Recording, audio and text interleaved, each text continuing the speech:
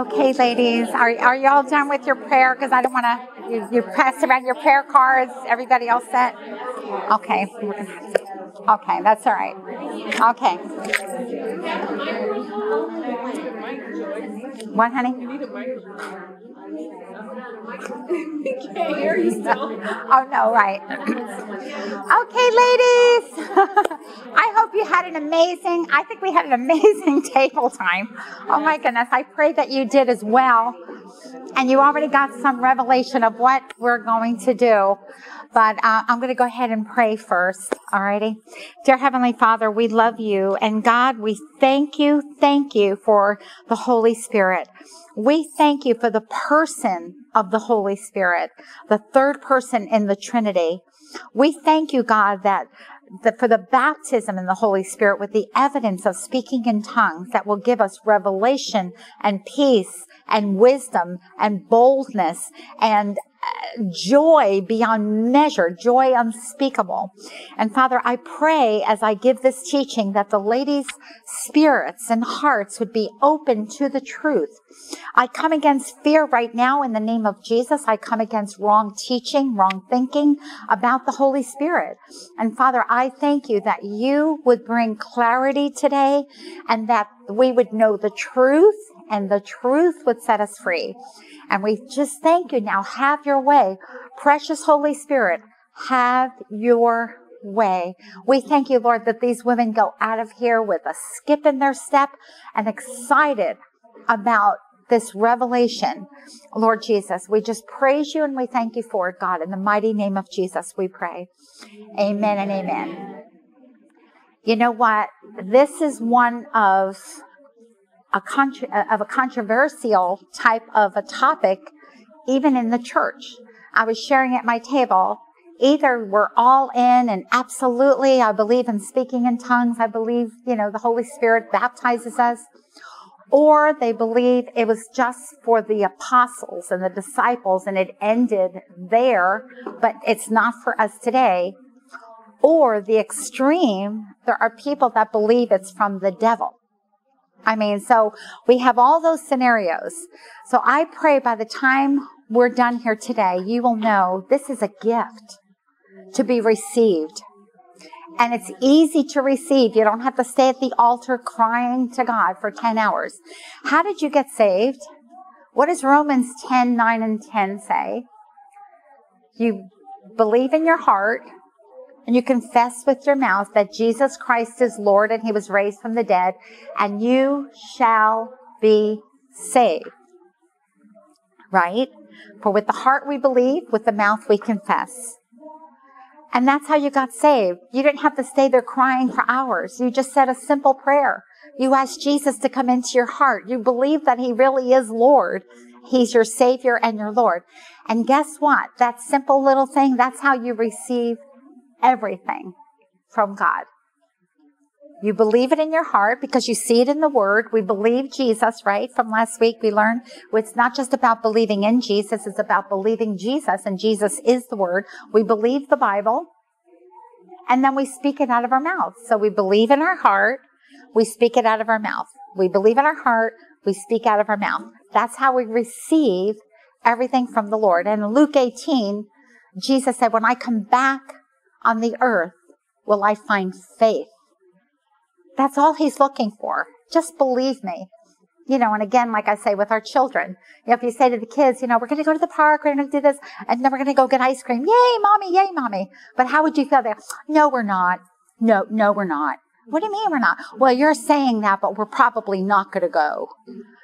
You know, if they said that long enough, what would you say? All right, then we're not going to go. You don't believe me? I'm your mother. Why would I say that and then not take you? But how much more? The, the Lord tells us something and we should just believe it. Just believe, just believe his word. It's so amazing. Okay, I want to get into a little bit of, of the teaching. we were talking about the mind aiding the spirit, and the spirit aids the mind. They work together as one. You know, I was sharing also at the table that many times when I have a situation, I just don't see the answer or it seems insurmountable. It's too much for me to bear. We all have those situations like, I don't know what to do with this. This was just handed to me. And now what do I do with it? We give it to the Lord. So how do we give it to the Lord? In prayer. But the most powerful prayer we can pray is when we pray in the Holy Spirit because the Holy Spirit knows the mind of God. We only know our own minds. And so we pray the perfect prayer. Now he uses our own tongues, he uses our own mind, but it is the Holy Spirit. So if I have a situation, like I was saying, if I pray for my grandchildren, which I do all the time, if there's a situation, you know, I would say, Lord, I'm going to pray in the spirit for my grandchildren because I don't know what to do right now. And then I begin to pray in tongues. And I, I was saying, sharing this with the ladies. I pray until I have revelation or peace or both. You'll just feel a release. You'll feel like I've got the answer. And you may not even know what the answer is, but it's like this. God's got this. Amen. God's got this. I have a peace that passes all understanding. I don't know how you're going to do it, Lord, but I know you're going to do it. And I've shared many times with my son Michael how I would go to bed and be at peace and say, Lord, just give me a good night's sleep. Be with him. You love him more than I do. And I would have peace, not knowing where he was, what he was doing. Now I want to share with you. Um, last week I shared my testimony about being raised out of my deathbed. And I shared I got the baptism in the Holy Spirit at the very moment that I was healed. And I said this to Pastor Greg when he preached on the baptism of the Holy Spirit in the service afterwards. I said to him, I received the baptism of the Holy Spirit at the very moment that I got healed. I said, now the devil sure didn't heal me. I said, I felt like that was just um, a revelation, a confirmation that the Holy Spirit is real and that God wants us to, to pray in the Spirit. Why would He heal me at the very moment that I received the baptism of the Holy Spirit? The second I did it, the, and I told you I didn't, I didn't have uh, my heavenly language. I just went la la la la, just like a kid, you know. And the power of God hit me, and it went through me, and I described it as warm honey at the time because I didn't know about the oil of the Holy Spirit, but this warmth went through my body and a peace that I could not explain, a joy that I couldn't contain. And I was totally healed. I was dying one minute and now I'm alive and I'm still alive all these years later. That was 1981. Praise the Lord. So I want to say don't have fear because that's how the devil keeps you from what God wants to give you. He causes fear, he causes doubt, or if you've had a teaching um, from another church or another ministry that this is not real, um, I'm just going to ask you to open your heart today because God wants you to have it all. Now, are you going to heaven if you never received the baptism of the Holy Spirit? Absolutely. If you receive Jesus as your Lord and Savior, you're going to heaven. But let's put it this way you will have the fullness of what Jesus died to give you when you have the baptism of the Holy Spirit. That's where unspeakable joy comes from. That's where no worry. Uh, you, you don't even worry. You know, you don't have anxiety. You don't have fret. You, it's just, you're so at peace because Jesus is the Prince of Peace. The Holy Spirit comes to point to Jesus.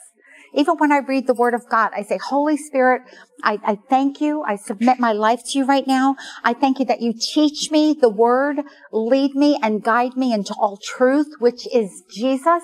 Jesus, you are the way, the truth, and the life, and no man comes to the Father but by you. I say that when I read the scriptures. So the Holy Spirit is pointing to Jesus, but it's the fullness of the Spirit where you'll have boldness to go up to someone and pray for them. I pray for people in malls and parking lots and, you know, if God leads me and, and you'll hear God speak to you and you'll follow his guidance because he's our counselor. He's our guide. He's our advocate. He fights our battles. The Holy Spirit is an important part of the Trinity. God the Father, God the Son, God the Holy Spirit. He is God. And when you have that relationship, it opens everything up and you go, now I understand. You will get revelation from the Word of God if you're struggling to read the Word of God and you're saying, I just don't understand it. I always do say, just keep reading and you'll get the revelation, but ask for it. But the Holy Spirit illuminates it.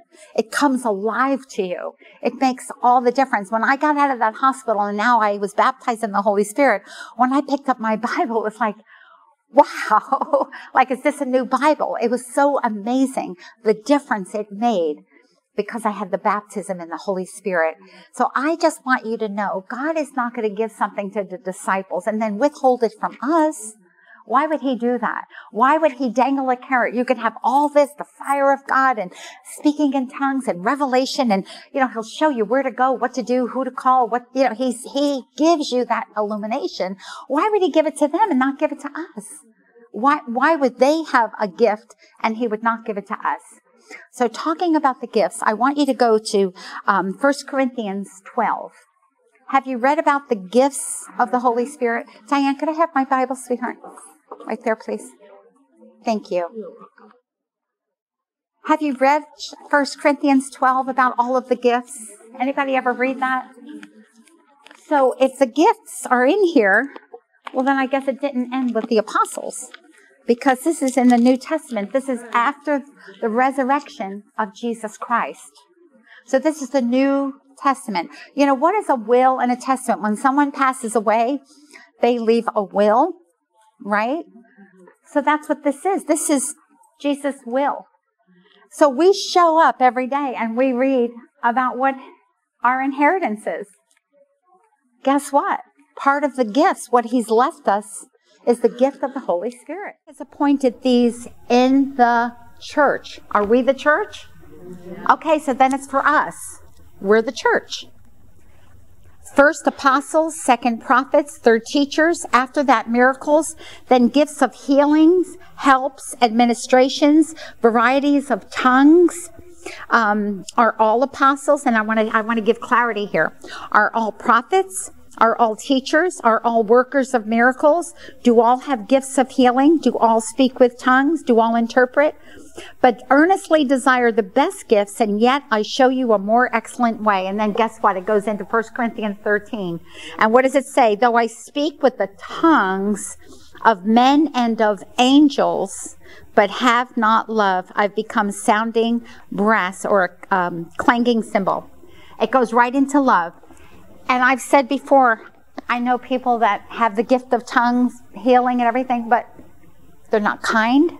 They don't operate in love. Now, the gifts of God are without repentance. In other words, if God has given someone a gift, He doesn't take it back, even if they're not operating in love. But you gauge that. If someone has love, then let them minister to you. But if someone is kind of prideful, a little arrogant, know it all, I wouldn't want that person to pray for me. you know, not that it wouldn't work, but we all want love. God is love. He doesn't just have love. So we're made in the image of God. So we are love. So we are designed to be filled with love. And when you operate in love with the gifts, I will tell you, you will be more effective because all you want is for that person to know Jesus and to know the power of the Holy Spirit. Now, there's something in here that I want to address because some people say, well, says, oh, you know, some people have this and some people have that. I want to clarify. Paul said, I wish you all spoke in tongues more than I do. In other words, he spoke in tongues more than anyone. The apostle Paul, the apostle of grace, spoke in tongues more than anyone because he needed revelation. He oversaw all the churches. He had a lot on his plate and he went through so much. How did he do that? By the power of the Holy Spirit.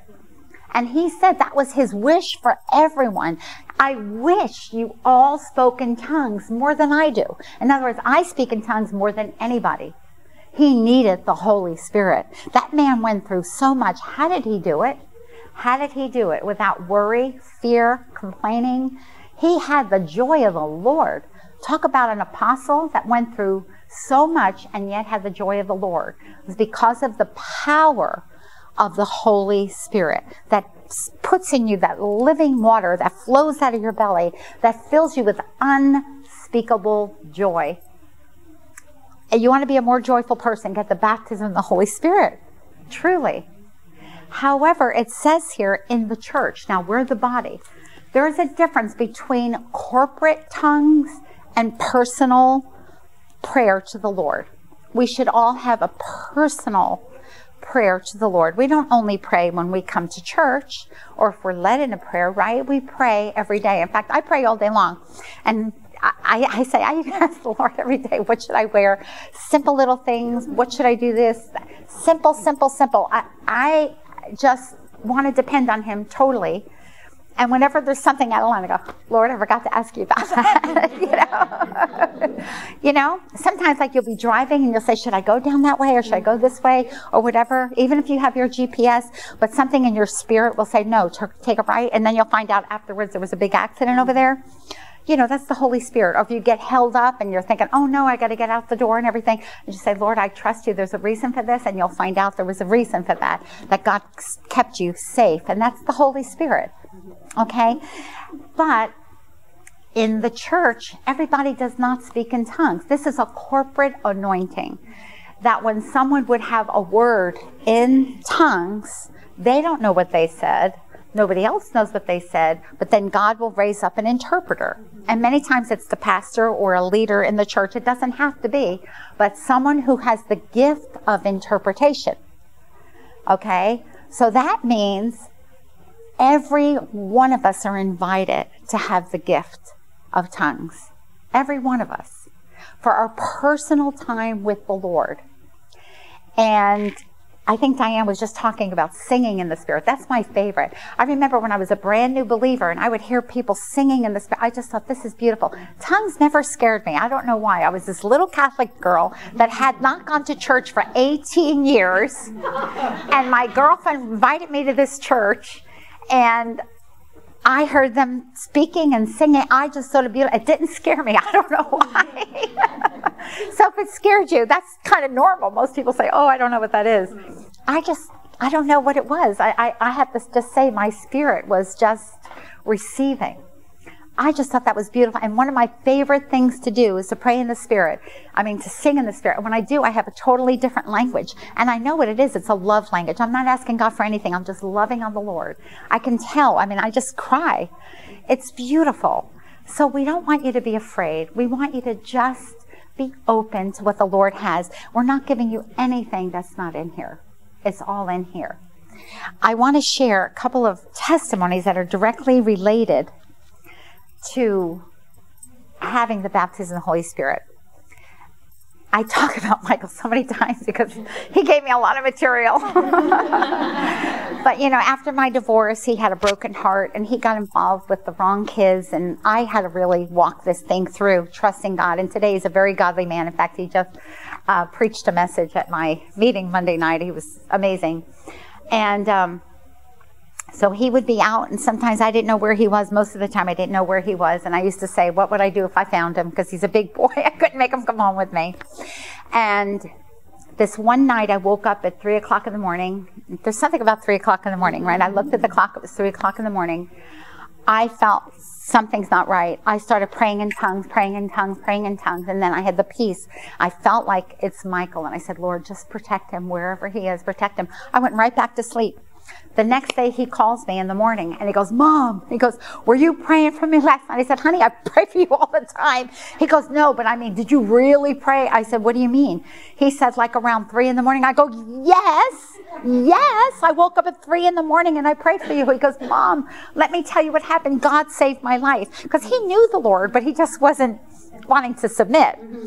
He said, I was in a car with a bunch of these guys and it had a sunroof and I was standing up in the sunroof and the guy started going faster, faster, faster. He had to be going at least 100 miles an hour and we were headed to the Okeechobee River. He said, and I screamed, Jesus. He said, and I don't know how it happened, but the car stopped not abruptly, and we all got out, and, we, and he said, everybody looked at each other. He said, I started telling God, this was Jesus. Jesus just saved our lives. He, and he said, my mom must be praying. and that was the revelation of the Holy Spirit to wake me up and pray in tongues. And so I know I prayed for his life to be spared and the lives of his friends. That was the Holy Spirit. I have another one now. I'm just going to ask for you to open your hearts to believe what I'm going to tell you. I was living in a condo in Coral Springs, Florida, South Florida. And all of a sudden, and I was up late. I was never usually up late on a Saturday morning, uh, Saturday night, because I would go to intercessory prayer early. But that night I was just up and I was reading. And, but all of a sudden I hear fire engines and all this noise. I open up my, my, um, velours and right across the street, I mean, as close as that wall is to me, that house was com- completely consumed in flames. I just started running around my little condo and praying in tongues. I didn't, I couldn't even speak. I, am thinking, oh my gosh, that fire, it could come here, it, it, it spread out. It was terrible. It was a full blown fire. And I didn't even know it until I heard the fire engines because everything was closed. And I just started running around praying. Well, I had this uh, new friend named Phyllis, and she was an amazing, powerful intercessor. And I was still kind of a new Christian, maybe five years into this thing. And I said, God, I want to call Phyllis. God, I want to call Phyllis. I don't know Phyllis's number. God, I want to call Phyllis. I'm telling you, I mean, after praying in tongues, you just have to either believe this or you're going to say that girl's a kook. I saw the numbers. I saw the numbers. I picked up the phone. I'm looking at the numbers and I'm putting the numbers in the phone. True story. She answers, Praise the Lord. I go, Phyllis, Phyllis, it's Joyce. There's a fire across the street. She, goes, She says, I know, honey, I'm already praying. She expected my call. The Lord told her, Joyce is going to call you. She was already praying everything I was asking God for, that it wouldn't go past the boundary of the house, that there wouldn't even be an animal inside, nothing. There would be nobody home, that nobody would be hurt, and it would not go to any other person's property. That's what we prayed. So then afterwards, I joined the crowd of all my neighbors across the street as they put this fire out. And the fireman said to the other fireman, I was standing right there, maybe as close as Diane is, and he said, This is pretty amazing. It never, this fire was like self-contained. It like it never went anywhere. He says, I've never seen anything like this. And he says, and we're so glad there was nobody home, not even a dog. so God let me hear that. And I said, I've been praying. I've been praying with my friend Phyllis. She's powerful. And I said, that's exactly what we prayed. I said, praise the Lord, praise the Lord. I was so excited. That is a true story. Wow. That is a true story. And I don't think I would have had those numbers if I didn't have the revelation of the Holy Spirit praying in tongues. So you might say, this girl is kooky. You're, you're right. I'm crazy. I'm crazy about Jesus. I'm crazy about the Word of God. I'm crazy about the Holy Spirit. Ladies, all I want to do is ask you to be open that this is true. I could give you lots more stories, and those of us in this room that are baptized in the Holy Spirit can give you lots of stories. Now, again, can you have a relationship with Jesus without being baptized in the Holy Spirit and speaking in tongues? Absolutely. But do you want to live the supernatural life of boldness, revelation, peace, unspeakable joy. I'm a very joyful person. and it's not because I've had a, per- a, perfect life. I have not had a perfect life. I've had a life of brokenness, rejection, divorce. Uh, my daughter's had eight brain surgeries. My son was on drugs. And, well, I mean, I've had a hard life. I had a father that was kind of cold and I didn't feel loved and I didn't have a grandmother. I I didn't have a grandmother. You know what I'm trying to say? It's not because of my circumstances, it's because of my relationship with Jesus Christ and that I have received the baptism of the Holy Spirit. I thank God that I was in a church that taught it. And in fact, when Pastor Greg taught it and had people come forward to receive, I said to him, I said, Pastor Greg, this is an answer to prayer. I've been praying for our church. I knew Pastor Greg was baptized in the Holy Spirit, but I was waiting for it to be released on the body. Because now I said, we're going to raise up some powerful community. Christian because they're not afraid. Well, I don't want to talk to that person. What if she, what if she rejects me? What if she doesn't want to hear about Jesus? No, you'll be like, you know, you've got, you invite her to church. Can I pray for you? You know, whatever. You'll be talking to people in the mall and you'll be excited and you will have the peace and the joy that you can only have when you have the fullness of the Spirit. That's what the Bible calls the fullness of the Spirit. Now, do you have the Holy Spirit when you get saved? Of course. You get the Father, the Son, and the Holy Spirit. You have Him inside. But when you are baptized, it is living water coming from your belly. It just overflows, overflows, overflows, overflows. So, ladies, I'm just going to ask you now. Our table leaders are going to come forward. Stand with me. Now we have anointing oil. There's nothing special about the oil, but the Bible says to anoint uh, with oil. The oil is a representation of the Holy Spirit.